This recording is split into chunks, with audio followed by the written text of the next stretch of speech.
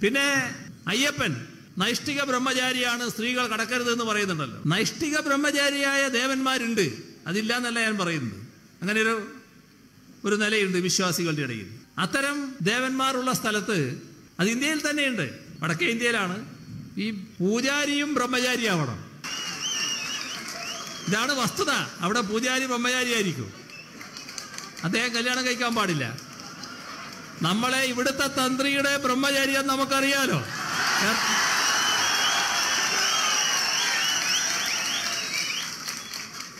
ഗൃഹസ്ഥാശ്രമത്തിന്റെ കാര്യം മാത്രമല്ല ഞാൻ പറയുന്നത്. അതിന്റെ അപ്പുറം കടന്ന് വ്യഭിചാരത്തിലേക്ക് പോയിട്ടുള്ള ഒരു ഘട്ടം.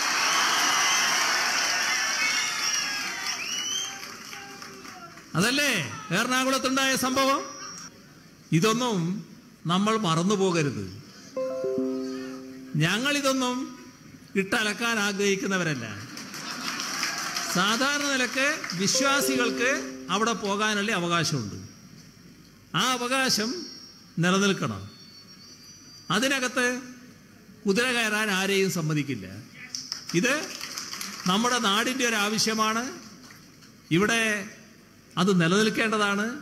ശബരിമല കൂടുതൽ ഭക്തജനങ്ങൾക്ക് വരാനുള്ള സ്വൈര്യമായി സമാധാനപരമായി ഭക്തജനങ്ങൾക്ക് വരാനുള്ളൊരു കേന്ദ്രമാവണം. അതിനെ തടയാം എന്നാരും തെറ്റിദ്ധരിക്കരുത്. പിന്നെ ഞങ്ങളെ പ്രക്ഷോഭം കടുപ്പിച്ച് കളയും ഇവിടെ എന്തെല്ലാമോ ചെയ്തു കളയും എന്നൊക്കെ വെച്ചാൽ ശബരിമല സന്നിധാനം എന്നത് ഒരു നല്ല ശാന്തമായ അന്തരീക്ഷത്തിൽ നിലനിൽക്കേണ്ട ഒരു സ്ഥലമാണ്. ഇക്കാര്യത്തിൽ സർക്കാരിന് വളരെ നിർബന്ധമുണ്ട്. അത് തകർത്തേ അടങ്ങൂ എന്ന് വന്നാൽ അവരോട് ഒരു വിട്ടുവീഴ്ചയും ഉണ്ടാവില്ല.